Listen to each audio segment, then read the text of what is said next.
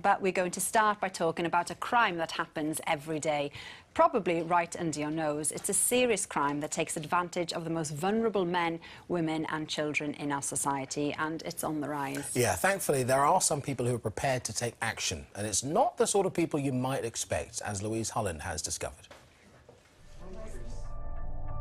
In her spare time, 69 year old retired teacher Norrie Webb works for the Salvation Army, but she's no ordinary volunteer. I'm a little bit apprehensive, don't know what I'm going into each time, but because I've done quite a number of these, I have a, a plan. She's not on her way to rattle a collecting tin or even help the elderly or lonely. Remarkably, Norrie works on the front line in the fight against modern slavery and human trafficking, following up on calls made to a Salvation Army helpline. Today, she's visiting someone who doctors became suspicious about after he collapsed in the street and claims to have escaped his trafficker. I'm about to just go into the hospital to see a young Vietnamese gentleman.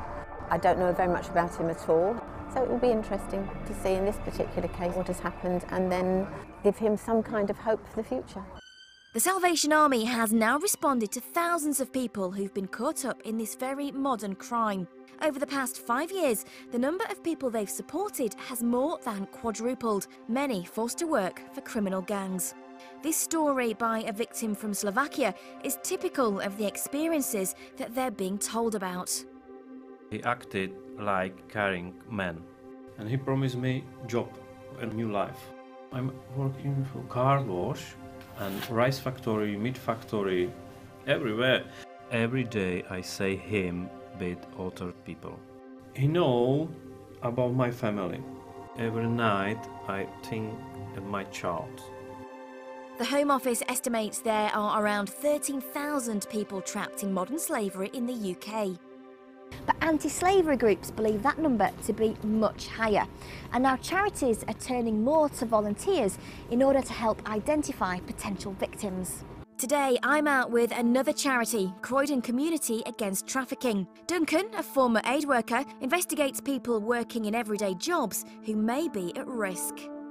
So that's the nail bar. Right. The hotel's just here on the left that Yeah. we're worried about. Straight opposite is the car wash, so that, that's so where we're we're heading. in now. We'll go in there. We think people are hidden in plain sight when we're having our car washed or our nails done or ordering a takeaway. Those things are right in front of our eyes. How do you know when someone has actually been trafficked and when they're just working in terrible conditions? Well, both are crimes. Um, but if you're having your car washed for five pound and there's six people working on it, often in horrible conditions without protective equipment, we start to become suspicious. Where the cash is handed to one person who's in charge of the money. Duncan has brought me to a car wash he has major concerns about. It's a cold day.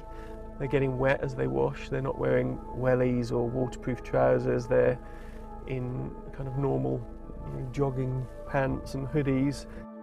Some of the guys live on site, and that makes us really nervous because it doesn't look a very habitable place. Whilst the car wash is going on, a sports car pulls up and two men get out. The longer this process has gone on, uh, the more worried I've been. So they arrived in that black Audi. So there's some money going here, and it's not made from six pound a car wash by paying your people well.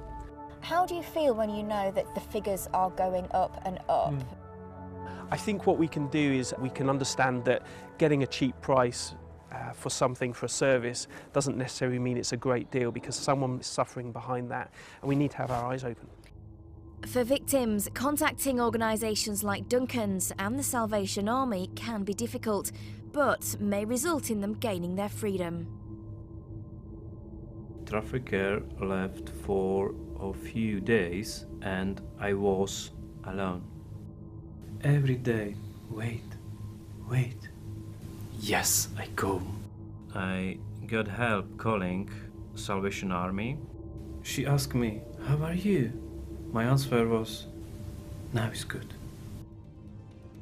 Back at the hospital, and Norrie spent the past hour speaking to the latest victim of trafficking.